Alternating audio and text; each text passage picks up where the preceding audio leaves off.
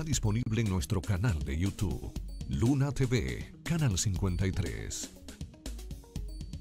Todos, quieren opinar, caramba. Todos quieren opinar. Unos hablan por aquí, otros hablan por allá. Todos quieren opinar. Sí, sí. Vamos arriba, que aquí están los opinadores. El teléfono en pantalla.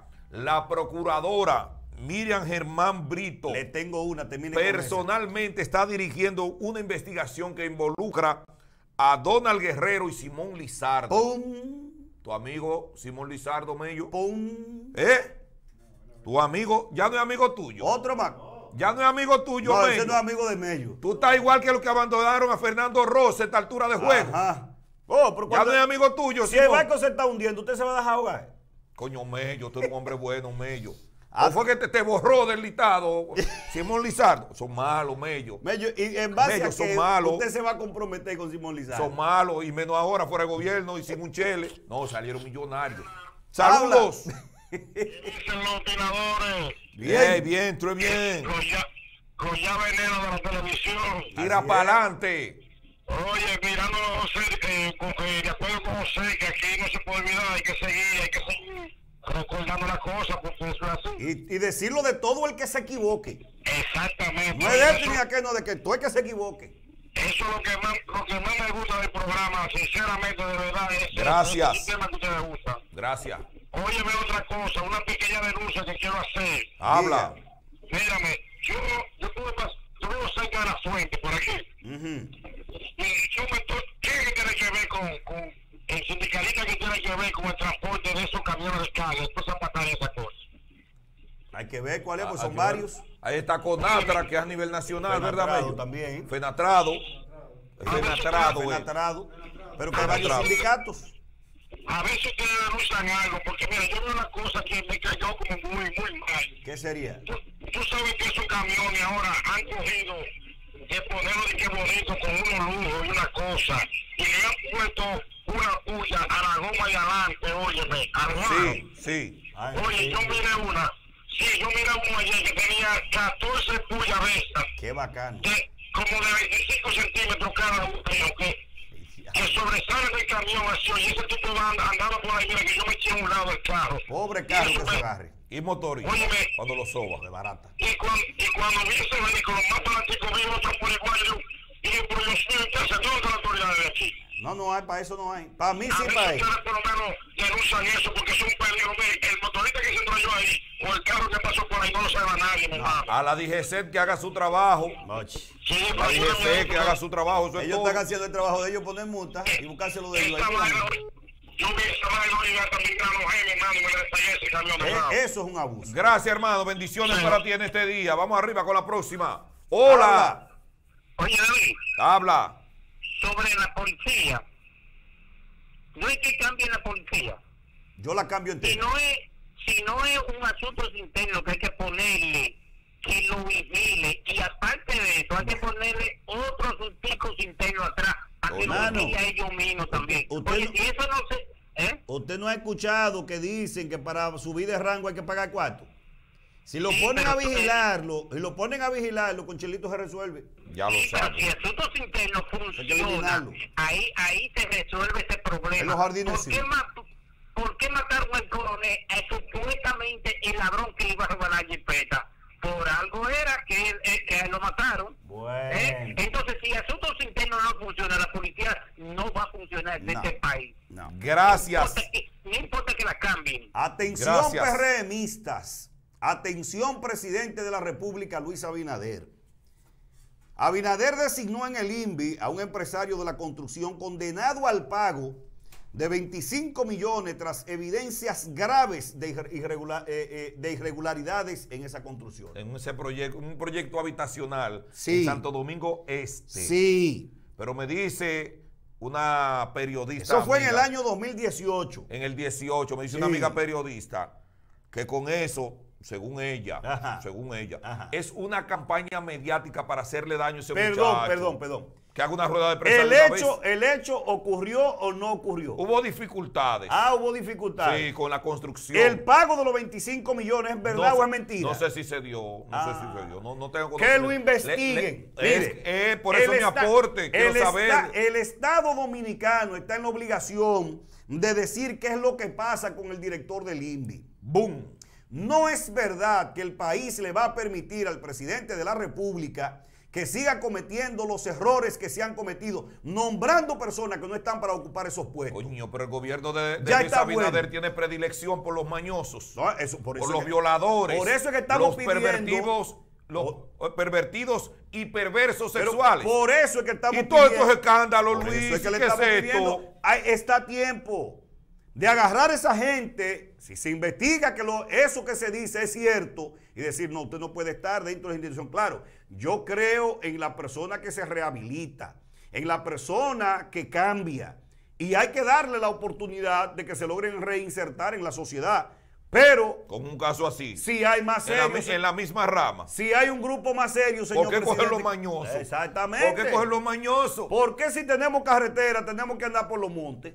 Estoy de acuerdo contigo. Entonces, yo, ese llamado se le está haciendo al presidente de la República desde el día de ayer, que dicen que es una campaña. Yo he dicho que el PLD tiene un equipo de comunicación agresivo. Intacto. Están, no, y están trabajando. Intacto. Están trabajando. Intacto. Están trabajando los interactivos y están trabajando los Pero no, están no están trabajando a todo vapor todavía. No, ¿Tú sabes por qué? Porque tienen un congreso y están ocupados con el comité Ahora, central y el ahora. comité político. Cuando el PLD tenga las manos libres Se jodió el y país. sus, y sus asuntos internos se resueltos, Se jodió el país. Tiembla. Y No. más, y más que Se el gobierno de Luis Abinader no está favoreciendo sus bases. No. Que son los soldados que cuando venga esa embestida del PLD va a salir a defenderlos.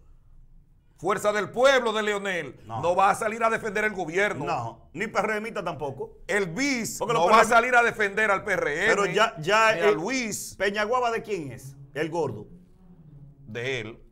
Porque él dijo ahora bis, que, del- se le, que se le quiere hacer una campaña. Que es una a campaña, un daño, Leonel. un daño político. A Leonel, un a Leonel político. Fernández. Ah. Sí, le quieren a- e- ese prócer de la Quinta República, don Leonel Fernández Reina, el esposo, marido de Margot. Pero esos equipos están ahí. Hay que saber ahora filtrar las informaciones. Y usted como pueblo, que ya el pueblo no puede seguir en la misma. Ah, que fulano, que bocina, que perencejo, que bocina del PRM, del PLD, del que sea. Todos tienen su bocina. Todos tienen su bocina y vayan quitándosela. El pueblo tiene que tener un verdadero cambio, pero es un cambio de pueblo, de mentalidad, de accionar, no de partido político, porque tú el que llega ahí lo que llega es a poner su gente y a beneficiarse ellos. Mientras el que está arriba, en aire acondicionado, ganándose un, bien- un buen sueldo, con combustible subsidiado y vehículo asignado, no es verdad que va a pensar en el que está abajo. Y hasta la comida le dan. Le amplío la información de Miriam Germán para aderezarla un poco más. Dele, dele. Miriam Germán, les dije que está dirigiendo la investigación en contra de no- Donald Guerrero, ex ministro de Hacienda, Sí, señor. y de Simón Lizardo, que es un ex administrador del Banco de Reservas. Oiga, ¿por qué? Hermano, lo están acusando de asociación de malhechores, irregularidad de su declaración de patrimonio, coalición de funcionarios, desfalco, estafa contra el Estado, falsedad de documentos públicos y lavado de activos provenientes del delito de corrupción administrativa. Le cayó gas encima con Miriam Germán a ese par. Oye, Simón Lizardo que se salvó aquella vez En tablita. del caso PM. En tablita. Ahí salvó. estaba Simón Lizardo, Sí. NG Cortiña, Mm. Luis Inchaustegui, de Andino Peña. A de Andino hay que investigarlo también con, con la OPRET, Oficina para el Reordenamiento del Transporte en la capital, Sí. que administraba la construcción del El metro. Mm. A de Andino hay que investigarlo. Ese era el que tenía también. la offshore. Sí, pero no una. Le, le detectaron como 25. Los papeles de Panamá. Y cuando tú ves que Danilo lo destituyó, Y eso, se, eso, Danilo. se, eso se quedó ahí. No, no, porque ya- este gobierno y su justicia independiente solo persigue a los amigos de Danilo No. y a los funcionarios de Danilo. Ay, pero hay una Ay, cola larga con la sociedad de la FUPU, la Sí. fuerza del pueblo. Que hay que comenzar a sacarlo. Que hay que comenzar a perseguirlo también. Buscarlo preso. Y de hay la- que meterlos presos. y si de, la robaron. gente, y de la gente de Hipólito también. Todo Hay que el que agarrarlo y robó. buscarlo preso. Todo. A mí, a mí me dieron una información cuando Hipólito Mejía, que eso me llenó de indignación contra ese presidente. Y es una persona seria la que estaba en el Ministerio de Educación, que ahora es la encargada de ética del Partido Revolucionario Moderno PRM. No me diga. Milagros Ortiz Borja, la que estaba en educación. Mujer que le pese ese ruedo. Hay un rumor que corrió como pólvora en ese momento cuando se inició el proceso de transición de mando del PRD del Al PLD. al PLD, de que supuestamente un camión de zapatos, varios camiones de zapatos en el sector educación fueron incendiados en alguna parte, sacaban los zapatos y los quemaban. Mm. Sí, No, y bueno. eso debería en algún momento la encargada de ética de este gobierno decir si le llegó allá a educación y le llegó a sus manos en algún momento esa información, qué fue lo que pasó con esos útiles. Mire, tengo que tocarle el caso. Pero ese es habla- rumor, Milagro, una mujer correcta. Una, una mujer correcta. Sí, pero tú puedes ser correcto, pero tú puedes tener amigos que son incorrectos. Eso es verdad. Y, y recibieron sus sanciones del lugar a lo mejor. Drásticas. Lo dudo. Una mujer, una mujer Lo correcta. Lo éticamente dudo. hablando. Eso en el gobierno de Hipólito. Y hay que buscar Pues sus gustos son otra cosa, pero éticamente hablando, una mujer ¿Cuántas correcta. veces acusaron aquí a- al que está ahora en- en el consulado de Nueva York? Pero el caso de los invernaderos, No solamente el de los invernaderos, el arroz que entraba por ahí, por la frontera dominico-haitiana. participó Eligio Jaques también. Lo acusaban de eso. Ah. Y lo acusaban también en varias ocasiones, Eligio Jaque, del problema de la quema de arroz en esa zona para allá abajo. En la línea noroeste. A él y a un hijo de Hipólito era que la gente denunciaba. Esos rumores de competencia Son para, mal- para maldad, pero- para pero- hacerle maldad pero está a bien. esos hombres buenos de la patria que ahora pertenecen al PRM. Pero ¿quién lo Y investiga? hay que canonizarlo cuando salgan de ahí. Pero ¿quién lo investiga? Miriam Germán, la justicia independiente tiene que meter mano ahí. Vi al del 30% hablar ahorita. Je, Pedro Botello. ¿Qué le dijo a Pepe Abreu? No. Nos vemos allá el 27. No solamente a Pepe. Atención, atención, ellos van para el Congreso y van más duro. Pero el lío de él no es ese, que no me gustó. Señores, hace tiempo que venimos hablando de las exoneraciones. Que hay que quitarlas. Yo no sé por qué aquí hay que darle una exoneración y dos exoneraciones a un congresista.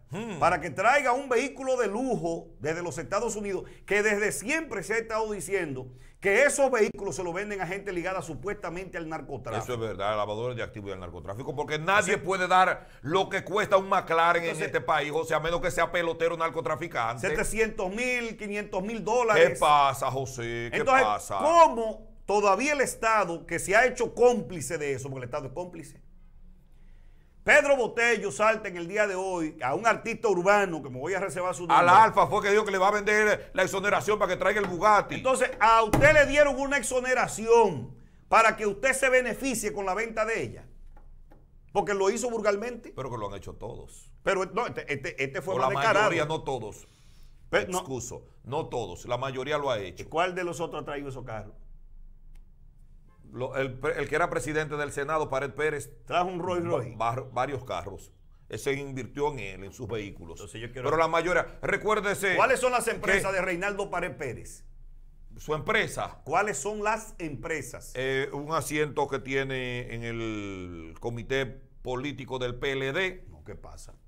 Un Y ahí le pagan a él por eso. Bueno, empezó su empresa. No, no, David. Pero como tú Una traer- curul que tenía No, David, en mire, el Senado de la República por varios periodos, esa era su empresa. ¿cuánto gana un Defender senador? al PLD. Métale 300 mil pesos a un senador. Que un senador gane 300 mil pesos mensuales. Por 12, a- por 12 meses son 3 millones 600 mil. por cuatro. Por 4. Son 14 millones 400 mil pesos. ¿Cuánto cuesta un, un Rolls Royce Phantom? Adiós, pero mira, muchacho. Lejos de esos 14 que tú mencionaste. Y eso, que le estoy calculando eso, y en base a esto, Ahí hay, hay- hay que rebajarle ahí hay que comida, pagar colegio, universidad, co- Echarle combustible a los vehículos. No, ah, no, eso verdad que se lo dan. Eso se lo dan.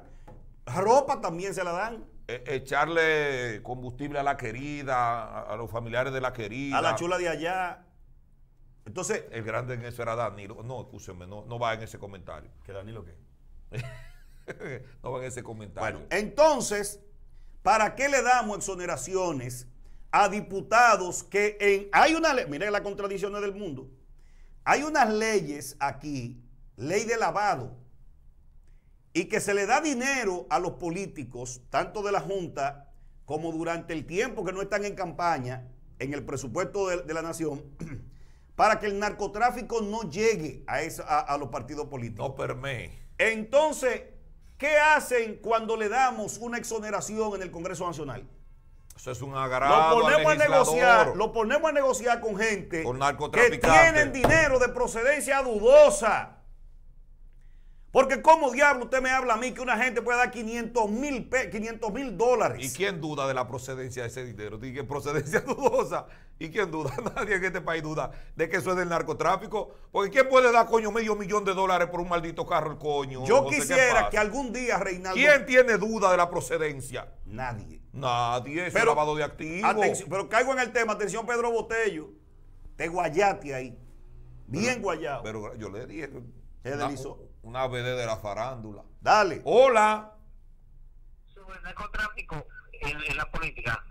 Pregúntele a, a Danilo y, a- y al abusador y a Quirinito y, a Quirino también. Pregúntele. ¿Qué le preguntamos? a quién le daba cuarto de, de- de- de ellos. Le dio a Danilo, le dio a Leonel, Quirino le dio a Leonel y le dio a Hipólito. Ajá. Kiri- ah, Quirino, sí. y Eso es lo que dice. Le dio a todo el a mundo. Danilo. Le dio a todo el mundo. Pero- pero- El eso- abusador hace como los empresarios de este país. Sí. que le ponen su huevo en cada canasta, le dan a todo el mundo. Los grandes empresarios, todo el que huela a presidente, tenga una mínima oportunidad Ajá. en campaña, pasa a recoger, tenga lo suyo, tenga lo suyo, que nadie sabe. Porque los empresarios piensan en, en sus intereses, Se en sus capitales. de una persona en Santiago que supuestamente recogió unos chelitos para la campaña de Luis Abinader en la ciudad. y se tragó el Lucio, o Y- parte del Lucio. Y los cuartos no, parece ser que no le llegaron a Luis. ¿No llegaron todos o no llegaron completos? No llegaron. Pero de qué ala es? Es comunicador, No, político. comunicador, no político. Empresario. Empresario político, político empresario. Un vivo de la política, vivo de la política. de Santiago. Sí. Recaudador. O él, o él se autonombró o el partido lo nombró. Hay uno de esos que supuestamente, ese mismo, de que buscó una, unas constituciones en la Cámara de Diputados. Ajá. Mira, dame unas constituciones ahí para yo entregarla, que yo cuánto. Y se tragó el Lucio también. La vendió a 60 dólares en los Estados Unidos. Diablo, ese es fuerte. ese es fuerte. Te estoy Pero diciendo- dame dato que yo doy el nombre. Tranquilo, que o dame algunas generales de él. él va a salir a buscar Prodón a partir de hoy. Le están dando seguimiento. Andar, diablo. Pero un seguimiento tremendo. Alexis Medina, antes de que usted siga, tenía permiso para transportar combustible. Mm. Pero como era hermano del presidente Danilo Me- Medina, hasta batata vendía. importaba y vendía. Hasta batata. Y aparte de eso, en Boca Chica tenía un muelle asignado, José, Un muelle. un muelle asignado para él. Oigan, al- le alquilaron una parte del muelle de Boca Chica, Al señor. porque ese era de lo que salía a alta mar a recoger combustible para venderlo, porque eso es tráfico.